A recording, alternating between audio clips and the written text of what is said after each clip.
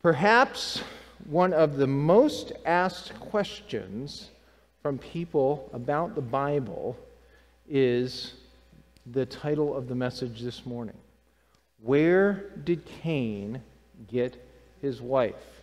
One of the sites I frequently recommend to you and commend to you even this morning uh, is a site called Got Questions, gotquestions.org. If you ever have any questions about the Bible, um, about spiritually related things, or you want to steer somebody uh, who you're talking to at work, this is a great site. I've recommended it uh, a number of different times, different articles that are there.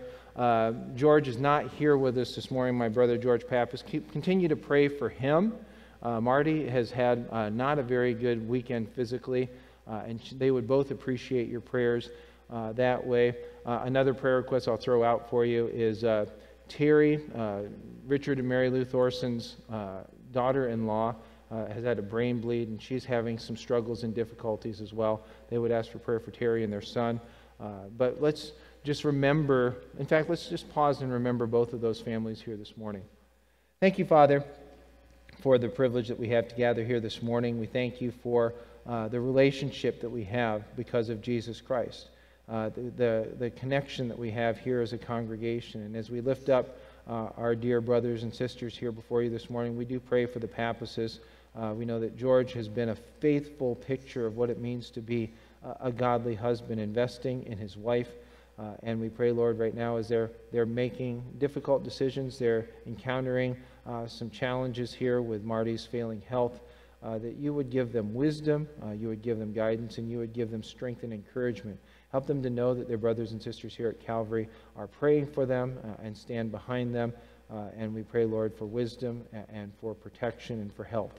We pray as well the same thing for Richard and Mary Lou, knowing that they're uh, aging themselves, that it's, it's a struggle to be here physically on a, any kind of a regular basis at all. Uh, it's really a struggle for, for some of the things that they just have to navigate through uh, from day to day living. But we know that this matter, particularly with their daughter in law Terry, is, is resting heavily on their hearts. Uh, Lord, when we confront situations like this, we feel helpless. Uh, we feel uh, sometimes anxiety and uncertainty. Uh, Lord, we pray that you would quiet their hearts. We pray that you would touch our sister here as, as she's struggling physically. Uh, give them confidence, give them strength that is anchored in you. Uh, and we thank you again for those who are faithfully caring for them uh, and showing the love of Christ to them. Uh, we lift them before you now in Jesus' name. Amen. Even as though I was talking, I was invoking my brother's name, George is one of those people uh, who loves to teach the Word. He'll be teaching that Sunday school class here, uh, team teaching with Ricky, and he'll be doing this in a couple of weeks, going through uh, Second Thessalonians. Uh, and one of the reasons he loves Second Thessalonians is because Second Thessalonians touches on things having to do with the end times, with the return of our Lord, which excites George and really, frankly, ought to excite more of us as well. We pray with John as he closes Revelation and closes the New Testament. Even so, come, Lord Jesus. And this is our expectation that we have. But got questions, and so that's how we kind of got all the way around here. That website, Got Questions, shares our dispensational philosophy, our dispensational interpretation of the scriptures. And so I find it a very valuable resource that way. But they can touch on a lot of different things. Uh, they can answer questions about uh, human sexuality and what, what that looks like today and how Christians should be thinking through some of those issues. They can answer questions, like they, there's a question in there on what is the GARBC, which is our, our, our association. You can get a little bit of history there. But the, the seventh most asked question on that site, the one that people go to, the, one of the ones they go to the most, is this question on the screen Where did Cain get his wife? And there's some kind of it's like sometimes people who are skeptical of Christianity tend to think, oh, that's an aha kind of question. How can you answer that? Uh, if God really created the universe, uh, in six days and created Adam and Eve, and there, there's no other people around, that's kind of a problem for you, isn't it? Because the Bible also forbids incestuous relationships. And they think, aha, now see, that, that proves our point. There were more human beings, or maybe this whole thing that you guys think you have figured out uh, with the, the literal creation story maybe doesn't hold water. But for the literal interpretation of Scripture, for where we would sit, we have to answer that question. And that's not going to be the main focus of what's going on here. But what we are going to see is how we can start to think through these things biblically. And I would even say, if George were here this morning, from a dispensational point of view. But we'll be reading this morning Genesis chapter 4, beginning with verse 17. We are picking up in the narrative, if you were here with us last week, if you aren't here with us on a regular basis, we have been going verse by verse systematically through the book of Genesis. In fact, I started in Genesis chapter 1 and verse 1 earlier this year. So that kind of tells you the pace we've been going. Um, we're going to finish chapter 4 this morning, and I have told the congregation, and I promise you, we will pick up the pace a little bit. We're going to t- go more chapters instead of singular verses or spending a month on one set of verses, things like this. But where we pick up in the narrative this morning is in verse 17. God has just condemned Cain for the murder of his brother, and now the consequences of his actions are going to come to rest upon him. This is also one of the sections of Scripture that contains a genealogy. This is one of those places where the casual Bible reader will start to glaze over. If we're reading this around the room, uh, most of you are probably glad that the pastor gets to read this morning, and I don't have to say words like Mehujael as we're reading around the verse so everybody can laugh at your pronunciation or you feel awkward. But there's a reason, even here, these genealogies are here. And we're going to talk about that a little bit in our uh, explanation and our application of the scriptures this morning. So let's pick up again in chapter 4, verse 17, and we'll read down through the end of the chapter. If you're following along, I'm reading from the English Standard Version. Hear the word of God. Cain knew his wife. And I'll pause there. That means that they had sexual relations. That's a euphemism that's used. Cain knew his wife, and she conceived and bore Enoch. When he built a city, he called the name of the city after the name of his son, Enoch. To Enoch was born Irad, and Irad fathered Mehujael, and Mehujael fathered Methushael, and Methushael followed, fathered Lamech. And Lamech took two wives. The name of the one was Adah, and the name of the other Zillah. Adah bore Jabal. He was the father of those who dwell in tents and have livestock. His brother's name was Jubal. He was the father of all those who play the lyre and pipe. Zillah also bore Tubal-Cain. He was the forger of all instruments of bronze and iron. The sister of Tubal-Cain was Naamah. Lamech said to his two wives, Adah and Zillah, hear my voice. You wives of Lamech, listen to what I say. I have killed a man for wounding me, a young man for striking me. If Cain's revenge is sevenfold, then Lamech's is seventy sevenfold. And Adam knew his wife again, and she bore a son, and called his name Seth. For she said, God has appointed for me another offspring instead of Abel, for Cain killed him. To Seth also was a son born, and he called his name Enosh. At that time, people began to call upon the name of the Lord. This is the word of God, inerrant, infallible, inspired, written by God and written for us that we might know what to believe that we might know how to live, and that on his pages we might meet the living Christ. May God add his blessing to the reading of his word this morning. I often say that at the end of reading a passage of Scripture, and sometimes that's easy to see. Like, how are we meeting Jesus Christ? We're reading Romans 8. Nothing can separate us from the love of Christ. Shall persecution, eh, eh, eh, and, and it's like, it's inspiring. It's just like, wow, yes, he just comes alive out of these pages. It's a little bit more difficult for maybe for you to buy in. Like, how are we meeting Christ when we start talking about Tubal-Cain? a, a, name I can barely pronounce, much less understand who this is. And why is this significant? What meaning does this have for me in my life?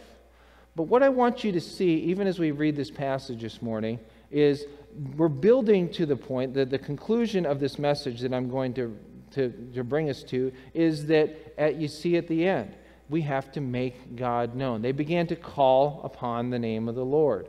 And so, as we understand what the point of this text is here, is that God gives to us goodness.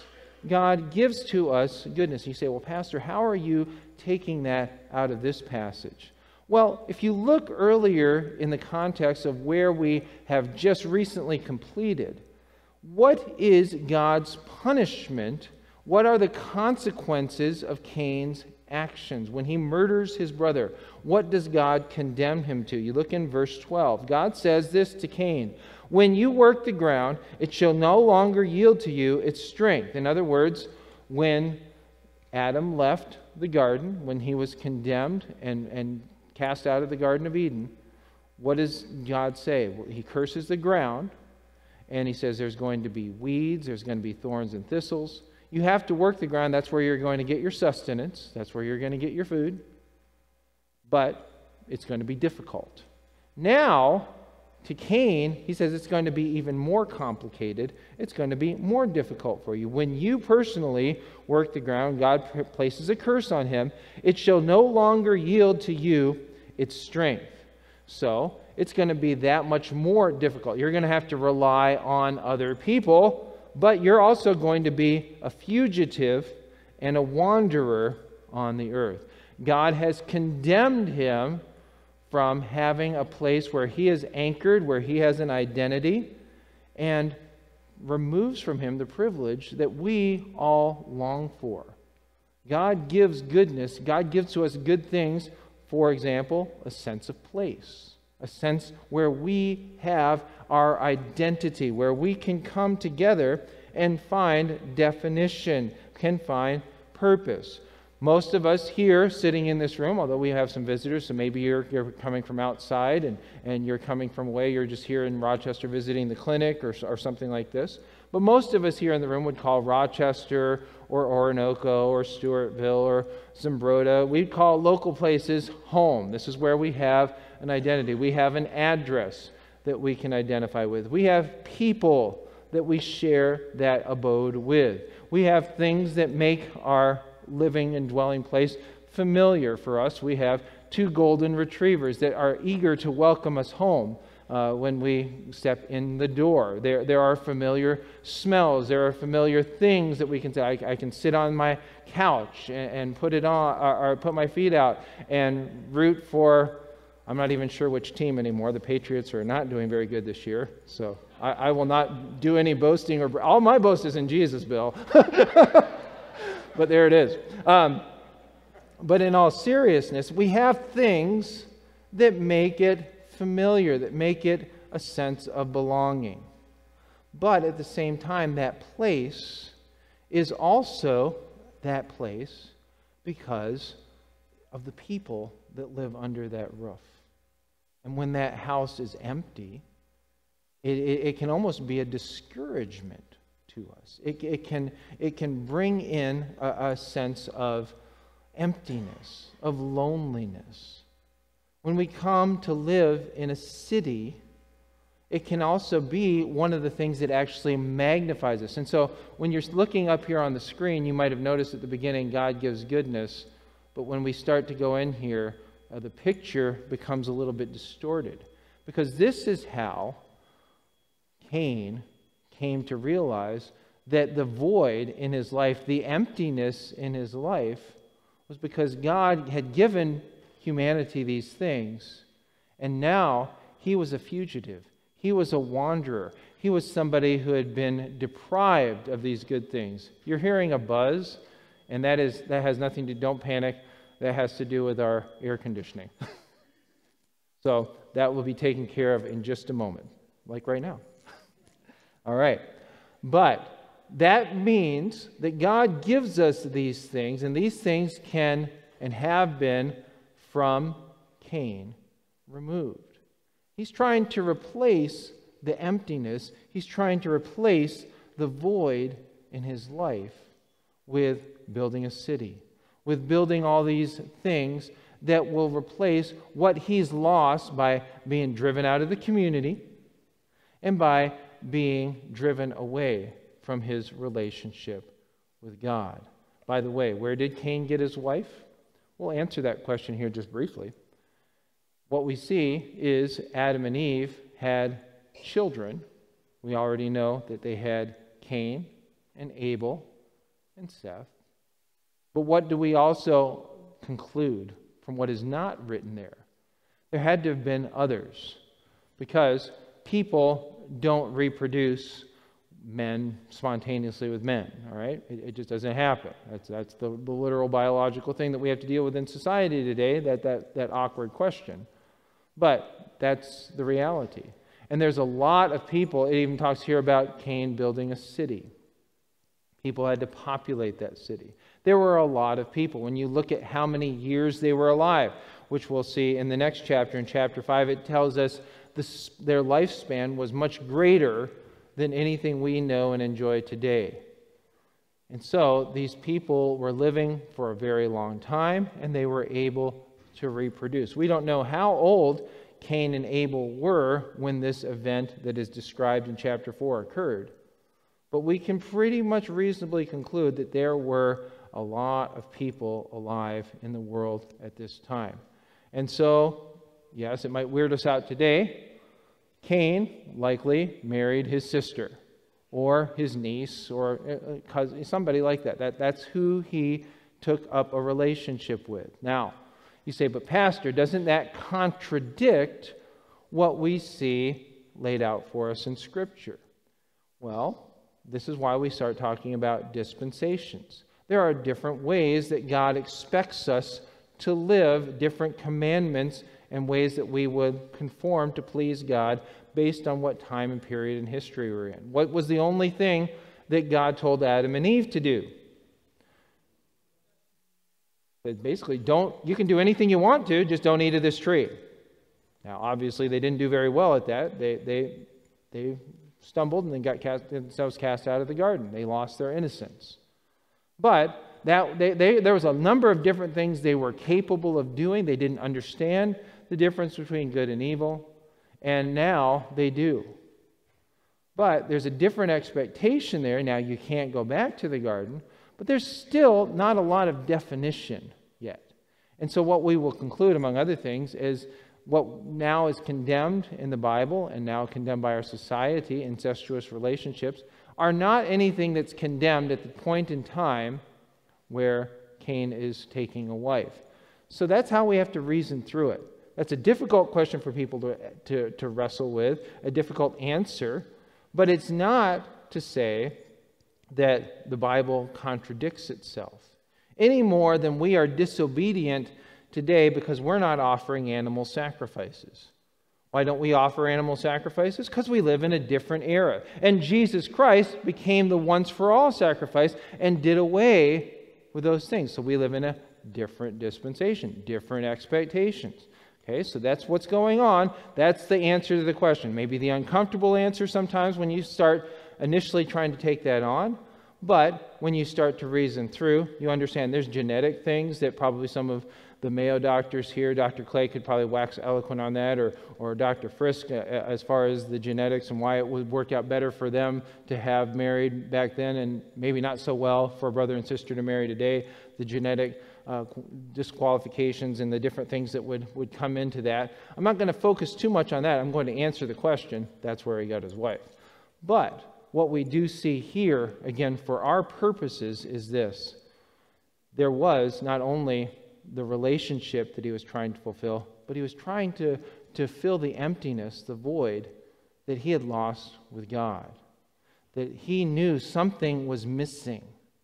And that is what Jesus has come to do for us. Jesus himself would say that I am the way, the truth, and the life. No man comes to the Father, no man comes to God except through me. And Christians today have this expectation that we are here to honor God, we are here to love God, we are here to have a relationship with God. But there is an oftentimes where when, it, when we find ourselves maybe doing Christian things or we're in the right place, but it's empty. We're missing something. This is what Jesus would point out to the church at Laodicea in Revelation chapter 3 and, and you're familiar with many of these concepts. This is something that he talks about. I know your works. You are neither cold or hot. Would that you were either cold or hot. So because you are lukewarm, neither cold or hot, I will spit you out of my mouth. And the, the, the concept there, there's different interpretations. My understanding of what's happening in this text is you're not hot and purifying and cleansing. You're not cold, spiritually refreshing. There, there were Laodicea would have been near two other cities, Hierapolis uh, and Colossae. And one had was well known for its hot springs where people would come for the medicinal value and, and get rid of their aches and pains. The other place had deep artesian wells where it was nice and cold. Laodicea was located not near a natural water source, so they had to build aqueducts to there. It was at the middle of, uh, of two crossroads on, on a commercial trading route. And so it had a very strategic location, but it wasn't built for its natural resources. And so with these aqueducts, they were very efficient to get water there, but they sat out in the hot sun. And so by the time the water got there, it was tepid. It just didn't taste good. And they didn't have water softeners and they didn't have filters and those kind of things. And so the water was adequate for what they needed, but it wasn't pleasant. And that's what he's getting at here when he says, when you drink it and just going to spew you out of my, it's no good. Nobody really appreciates this. Nobody values it. Nobody's buying bottles of this and taking it home, you know. And when Jesus rebukes them, he says, You're all self sufficient onto yourself, but you skip to the end of the passage. He says, Behold, verse 20, I stand at the door and knock. Jesus is talking to them. He's talking to a church. We often have heard this voice used in relation to salvation. That if you need Jesus, you need to, he's knocking on the door of your heart and you need to let him in and be saved. That's actually not what Jesus is saying here.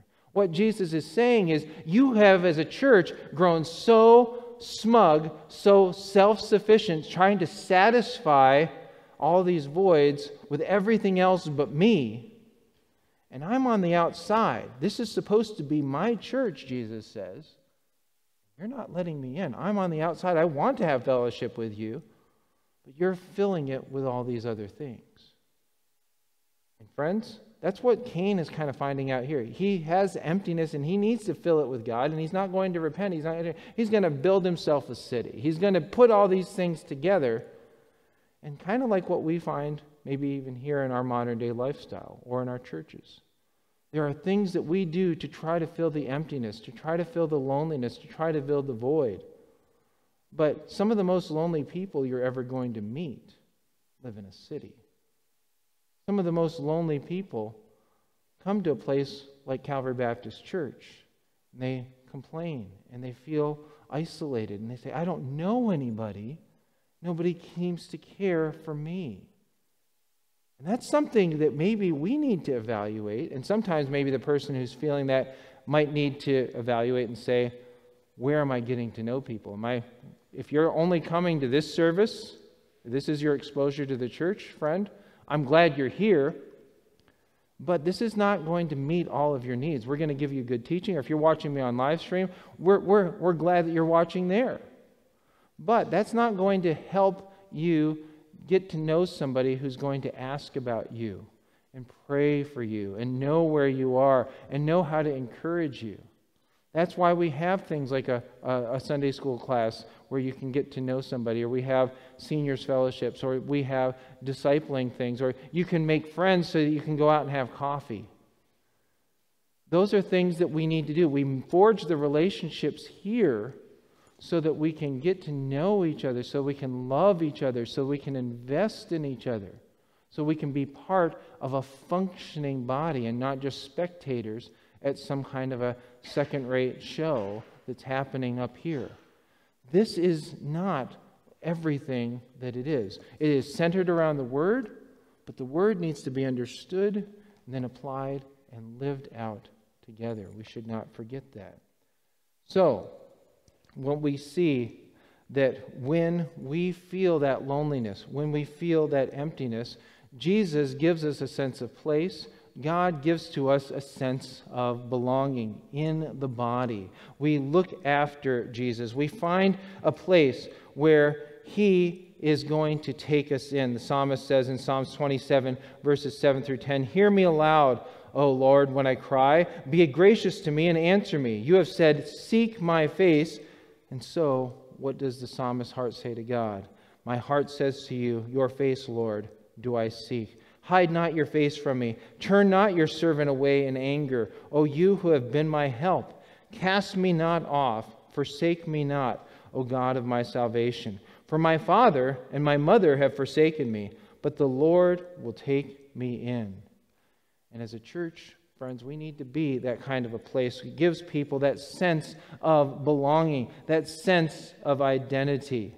We look for a city like the author of Hebrews says Abraham and those other Old Testament characters of old would do, who are looking for a city that has foundations, whose designer and builder is God.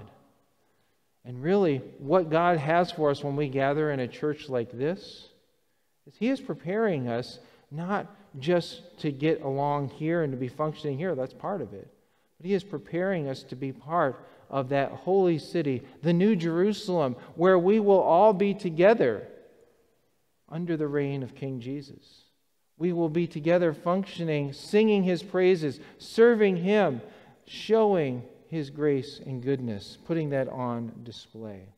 And we have that a relationship that we enjoy with Him and a relationship that we enjoy with each other. It is fueled by the Spirit who indwells our hearts. Romans 8, verse 16. The Spirit Himself bears witness with our spirit that we are children of God, that we have this sense of belonging. Our sense of identity doesn't just come with ourselves or like Cain trying to build this city and, and name it after his son and build up this community, this definition, and still finding himself empty. No, we have this relationship because of Jesus Christ, and Jesus Christ is what gives us value. Some of you were here yesterday when we had the opportunity to honor the memory of our sister Sue Locke. I had the opportunity to preach to her family that sat right up here in these rows to my right. And there was a lot of things that we evaluated together, and we could reflect on the blessings that there were in her life and some of the, the heartaches and some of the, the conflict that they experienced over time as well. But what ultimately gave her her definition, what ultimately we could walk away appreciating, is that she knew she was a sinner.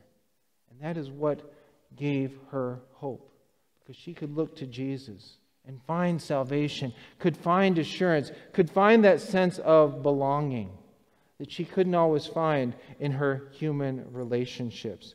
This is what God gives to us a place of a sense of place, a sense of belonging, a sense of purpose. And so you see that kind of happening here in this passage where it talks about some of these figures like Jubal, who is the father of those who play the lyre and pipe, Jabal, who is the one uh, who is the father of those who dwell in tents and have livestock, Tubal Cain, who is the forger of all instruments of bronze and iron. He, he's saying that these people found purpose in being productive. They, they found their definition, and like we might today, that's how we tend to introduce. Well, so my name's Greg Linscott. What are you? Well, I'm a pastor. You know, what, uh, Craig Frisk? Oh, I'm retired. uh, but I used to be a veterinarian. You know, and, and we have these different things that kind of give us that definition, that role. It's how we're productive, it's what we know what to do. They had that kind of stuff going for them too. But we also find that if we only defined ourselves by our work, as the old proverb, not in the Bible, says, all work and no play makes Jack a dull boy. You know, you have to figure out how to have the balance in your life. And for the Christian, it's even more important because we can invest ourselves and overwork ourselves and find ourselves unsatisfied. The author of Ecclesiastes, Solomon, says this in Ecclesiastes chapter 3 I perceived that there is nothing better for them, for humanity, than to be joyful and to do good as long as they live. also that everyone should eat and drink and take pleasure in all his work. This is God's gift to man. So, what you must understand is that work is a blessing. Work is something that God gives to us, but it's not meant to burn us out. It's also meant to be balanced with being able to enjoy the fruit of your labors, to be able to eat and drink, to be joyful, to take pleasure and take satisfaction, not just to be overly stressed, overly tired. You have to be able to balance it out. And also learn to love what you do. And often, how we can learn how to love what we do is when we see the benefit and the blessing it brings to others. And so we understand in the New Testament, Colossians chapter 3 and verse 23, whatever you do, work heartily as for the Lord and not for men, knowing that from the Lord you will receive the inheritance as your reward. You are serving the Lord Christ. And so, maybe you say, it's, it's really hard for me to, to find the joy in what I do. I'm just counting down the days till retirement. I'm counting down the days till this or that. You do it for God. You thank Him for the health and vitality to be able to do this. You thank Him, if nothing else, for the ability that what you're doing gives you the, the privilege and, and the, the responsibility as you earn a salary to care for your family, to be generous uh, to the Lord, to fund gospel proclamation, to be uh, uh, somebody who not, doesn't just have to provide for himself, but to give to those in need. Those are all things that are New Testament principles that we can rejoice in our productivity. Because in doing so, we follow the example of Christ, who came to do the work of him who sent him, and his work is what gives us life, is what gives us forgiveness, is what gives us salvation. The last thing that we'll see in this section, God gives us a sense of place, a sense of belonging, a sense of purpose, and you see it uh, towards the end of the chapter in verse 23 a sense of justice. Lamech here, there's, there's different, by the way, uh, different people who are named Enoch and named Lamech. Lamech is also a, a common name of the man who would father Noah, who we're going to meet here in a few chapters, uh, who builds the ark. Everybody knows who Noah is. But this is a different Lamech, and it's a different Enoch. Those two men that we're talk- going to talk about in the future come from the line of Seth. These men come from the line of Cain.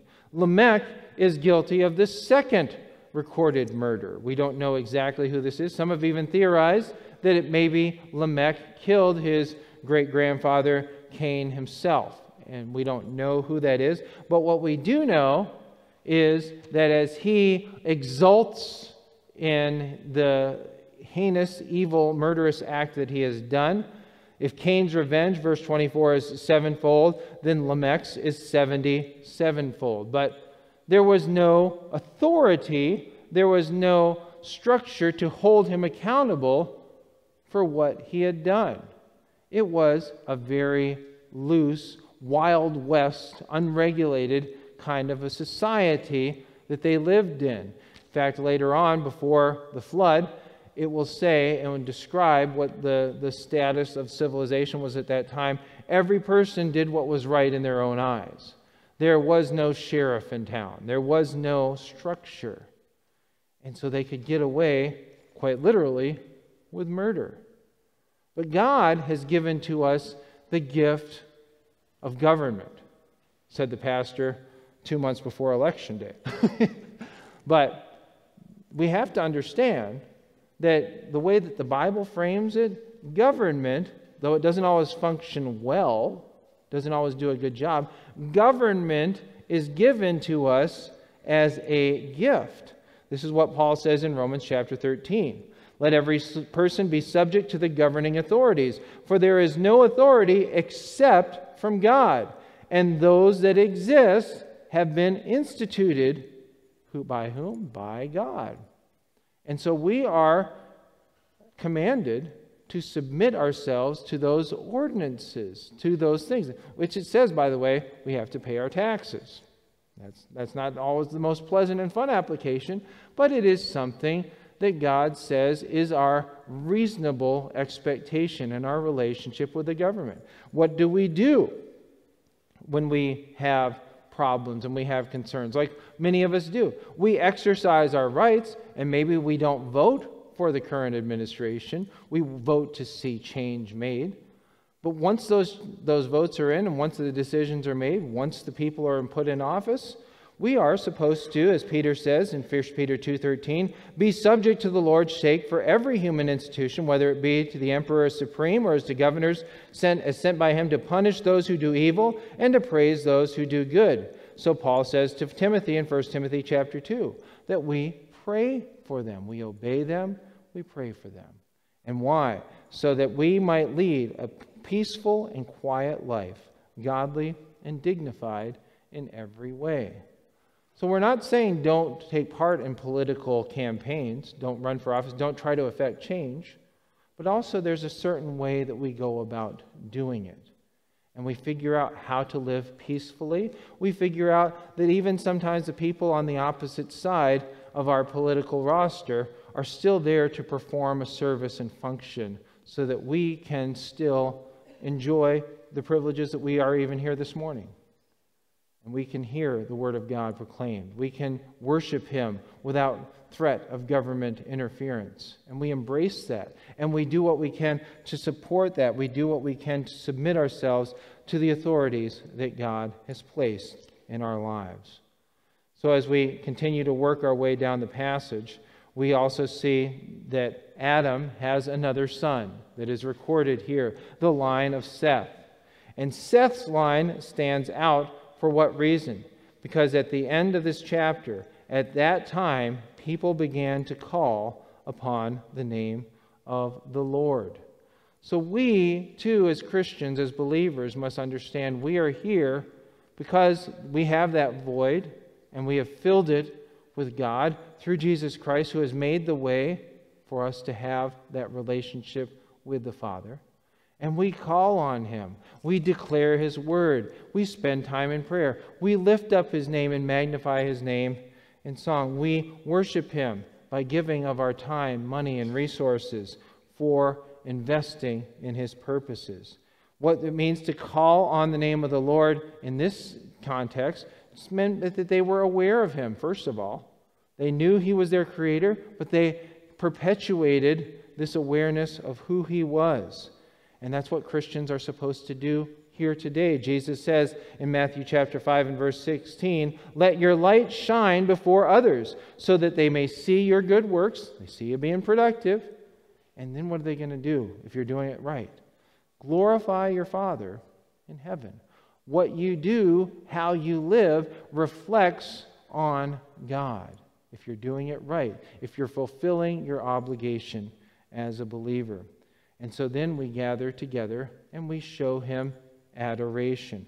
We maintain awareness, put our light on display, and we show adoration, as we've already read from Psalm 27. God says, Seek my face. And so our response back is, Your face, Lord, do I seek. We need to be worshipers of God. We need to make God known. And if we do that, we will not fall into the error of Cain. We will be like the people that it records here, who will be known because we have pointed people to the glory and honor of God. And we have that revealed to us in the face of Jesus Christ.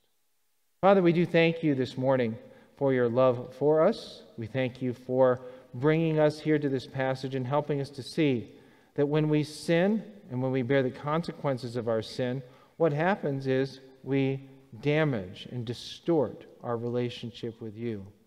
But you, knowing that we could not rectify that situation on our own, sent your Son to bear the penalty for our sins on the cross so that we could now have that relationship restored, so that void could be filled. And Jesus Christ Himself made that possible.